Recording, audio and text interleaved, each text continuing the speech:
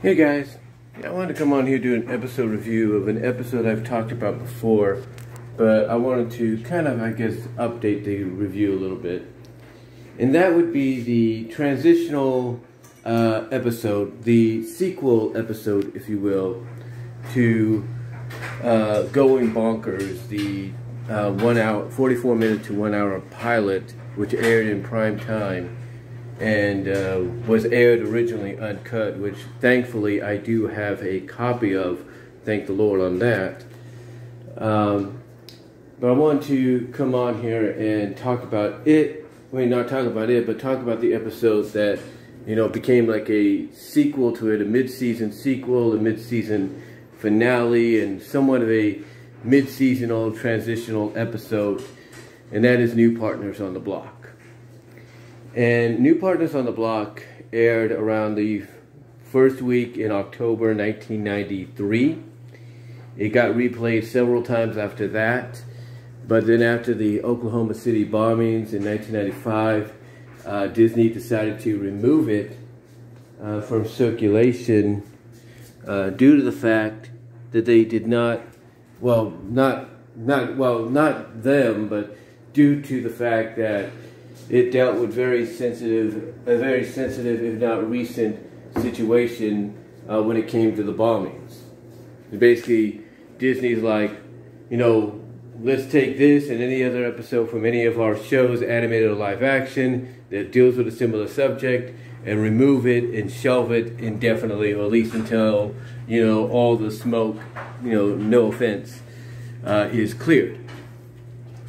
And it looked like maybe they were on the verge of doing that until what happened about, I would say, a little afterwards, you know, with, you know, the garage and, you know, the World Trade Centers and stuff. And then even after that, you know, they figured, okay, you know, nothing's going to happen now. Things are going to be okay. You know, we could probably re-release it into circulation along with other episodes. And then, of course, 9 11 happened, and then they basically had to keep it off the schedule for a little longer. And it wouldn't be until officially Disney Plus coming around that we would get the episode back in circulation. Now, for me, thankfully, I got in contact with some people that actually had the episode, and they lent me the VHS tape that had it so I could put it onto DVD and the rest is history. And I think the same went for the uncut version of Going Bonkers. You know, I was able to obtain that, and like I said, the rest is history. Uh, but New Partners on the Block, like I said, is a very, uh, very intriguing episode, not just for, for its controversial uh, storyline and everything, but mainly for the fact that it was an episode that basically dealt with Bonkers transitioning from Lucky Piquel to Miranda Wright.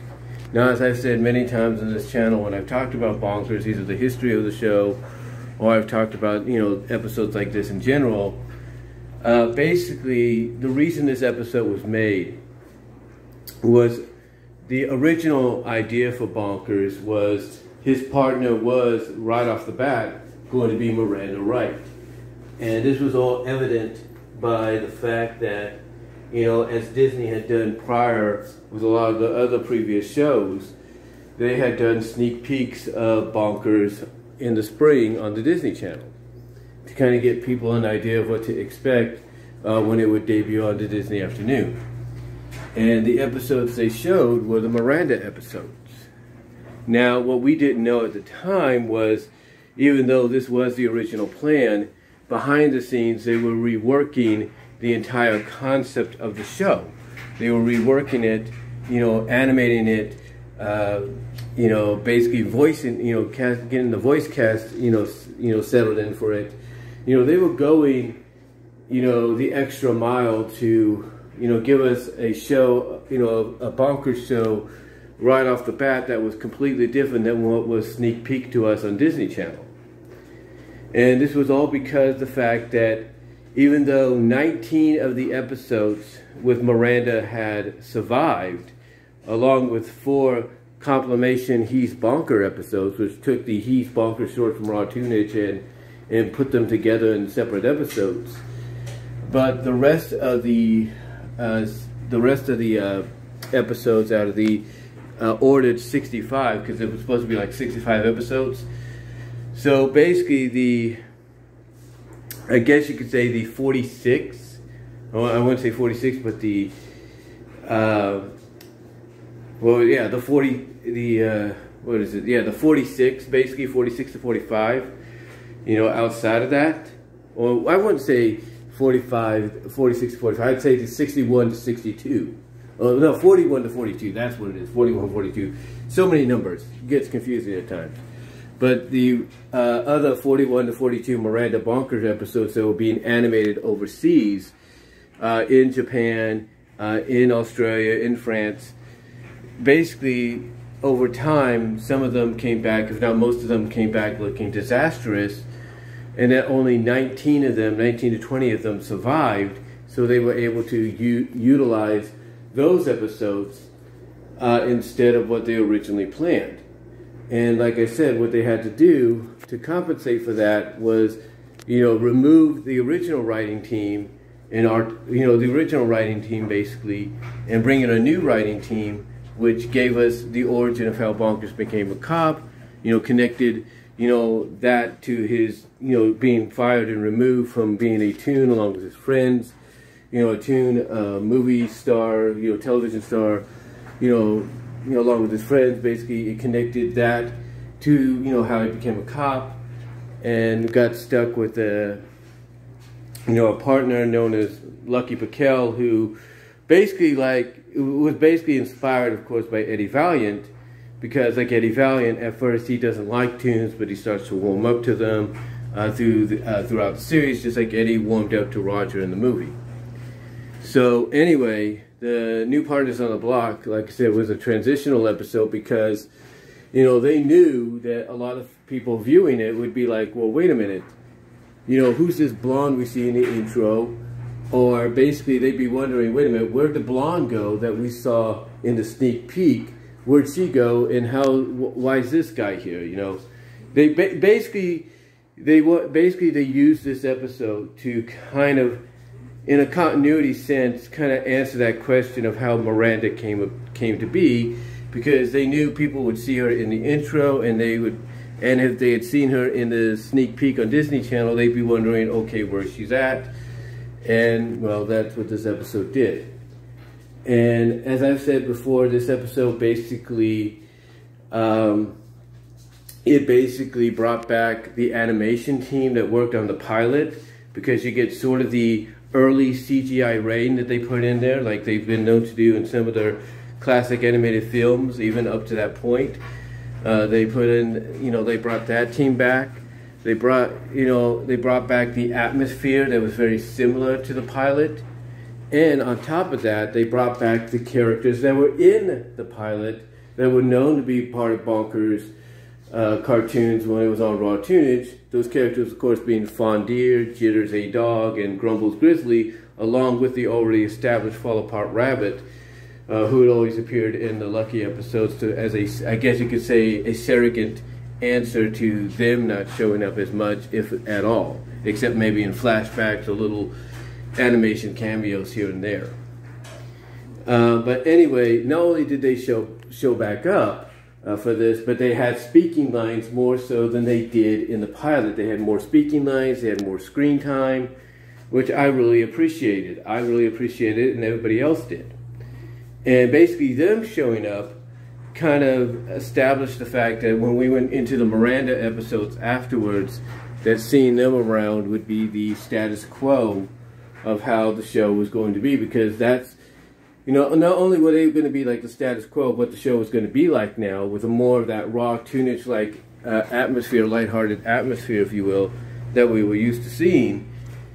But basically, it, it also allowed us to kind of get a bit of context, a better idea, especially as the years went on, and we learned more about the reasoning, you know, for, to this transitional episode happening. That this was what was originally planned from the begin from the get go and you know the rest pretty much is history. Uh, but yeah, this episode uh, overall was good. There's no doubt about it. Um, you can catch it on Disney Plus. It's gonna have a warning on it just to let you know, it might be one of those episodes that you have to have an adult setting on, you know, an adult setting on to, to view because of its sensitivity, uh, sensitive uh, uh, issue and, you know, uh, description and everything, basically what it talks about and deals with. So you may have to have, you may have to turn off the, you know, protection settings to, to watch it if you have the protection settings on there for your kid or something. Uh, but overall, it's a good episode. I like the fact that, they, again, they brought the characters back that we know of from Raw Toonage, you know, from He's Bonkers and all that. Let gave them more screen time and speaking time. I love that. And uh, I love the idea, I love the way they, they treated this. I love the fact that, you know, just like let's say that, you know, a show even today sometimes could be used as a backdoor to be sort of a pilot for a new show. That's kind of what this felt like. This felt like it was a backdoor um, not only mid-season finale, you know, and everything, but it felt like a backdoor transitional pilot, you know, uh, and move into the Miranda episodes and era of the show. So overall, you know, it had that feel and it and it worked. It really worked because you have a moment at the end where basically, you know, Miranda's, you know, wishing Lucky good luck and you know, Lucky's like, uh, thanks Miranda, but I think you're to need the luck. And, you know, kind of like a passing of the torch kind of deal. Like, you know, here's here's the previous season, you know, in Lucky Piquel, and here's the new season in Miranda Wright, if you kind of get what I'm saying. But overall, it's, it's good, and I highly recommend to check it out. Like I said, you may have to un, undo your protection settings on your account that you put up for your kids, because it might be one of those episodes that if you have it on the kids settings, you're not going to be able to view unless you uh, unset those, if you know what I mean, to the adult settings. But I just wanted to come on here, do that episode review, or do this episode review on New Partners on the Block from the Disney's Bonkers. I highly recommend checking it out. And that's all I'm going to say. So till next time, God bless. Take care. Like the video. Check out the Teespring store as well as check me out at BW Rosas's discussion on all your favorite audio podcast locations except for Pandora. Still working on that. So let's check me out on Vimeo at BW Rosas and check me out on Patreon at BW Rosas. And, you know, that's, you know, really about it, guys. So, again, like the video, comment down below, live chat during the premiere, and I am out.